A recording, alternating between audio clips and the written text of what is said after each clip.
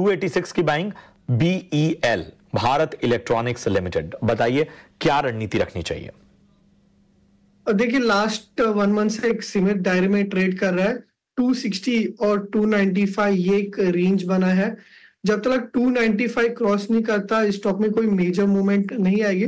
But जैसे 290 295 का range जो है ब्रेक होता है तो इस स्टॉक में काफ़ी अच्छा एक ट्रैक्शन देखने को मिल सकता है। ओवरऑल अगर आप देखें तो नीचे के स्तर पे भी बाइंग हमें देखने को मिल रहा है। 260 265 के आसपास बेस बन रहा है। तो इन द नियर टर्म कोई मेजर ट्रैक्शन देखने को नहीं, नहीं मिल सकता।